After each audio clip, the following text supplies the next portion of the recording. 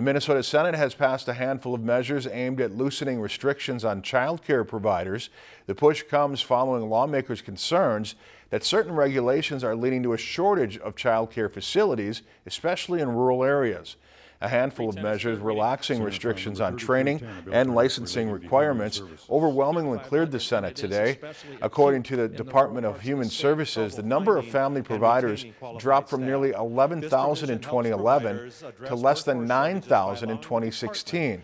Senator Bill Weber, a Republican from Luverne, says onerous requirements are causing many providers to close. His bill would tweak several licensing requirements for providers, including the ability for regulators to license more child care workers with outside experience.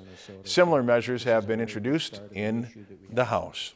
If you enjoyed this segment of Lakeland News, please consider making a tax-deductible contribution to Lakeland PBS.